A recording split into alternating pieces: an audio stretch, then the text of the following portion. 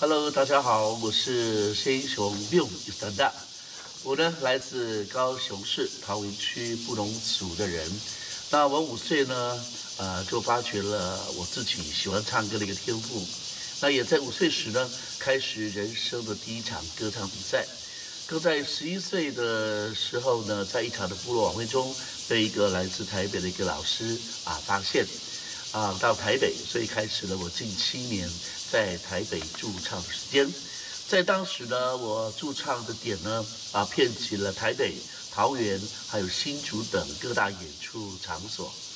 几乎呢我都唱过哈。那也很荣幸能够当时跟几位比较知名的歌手，像二姐我们知道的江蕙，还有郑基郑老师苏芮，还有陈淑华林淑荣，以及啊这个已故的一个名主持人，也就是我们的诸葛亮大哥。啊，小时候的艺名呢叫小黑宝，是由当今的主持界大哥大啊大姐大张小燕所取的，也曾远赴日本学习演歌训练。啊，十二岁呢就考取了歌星证，也在华视担任了基本演员及啊歌星。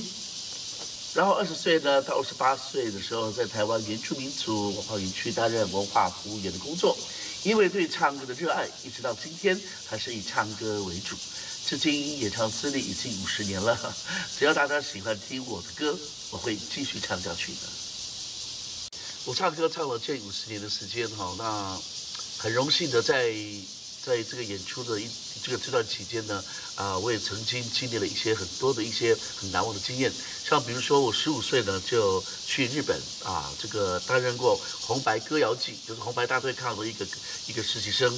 那么童星的时候呢？啊，也上过啊，当时国内非常有名的一个节目叫《飞燕迎春》综艺版，留了这个时间，华视八点档的连续剧，还有华视剧展、台湾民间故事，还有更值得一提，就是说也参加过大概五万人在七年公园，现在是二十八公园吧哈，七年公园的一个万人演唱会，唯一受邀的一个童星歌手。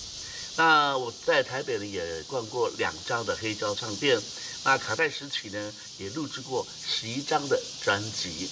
那在二零一八年呢，我荣获了二零呃呃原住民的十大网红歌手。那我以前呢，在同学的时候呢，也曾经啊这个受邀在高雄的蓝宝石，还有台中的联美餐厅驻唱。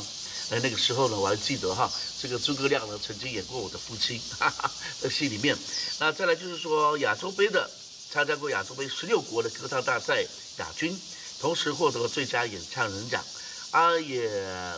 呃，这个参加过中国国民党的一百周年全国歌唱比赛的第三名，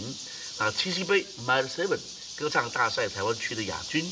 那在一九九六年到二零零一年，大概六年期间呢，以首席啊歌手的身份呢，啊代表了中华民国侨委会参加世界巡回的演出，有去过欧洲、南美洲、大洋洲、亚洲各地。宣慰在地的侨胞，那也担任过十五年各大专院校高中原住民族的一个音乐文化教师，也担任过各类歌唱比赛的评审啊，将近三十场左右哦，那也是原住民里永远的一个福音歌手跟词曲创作者。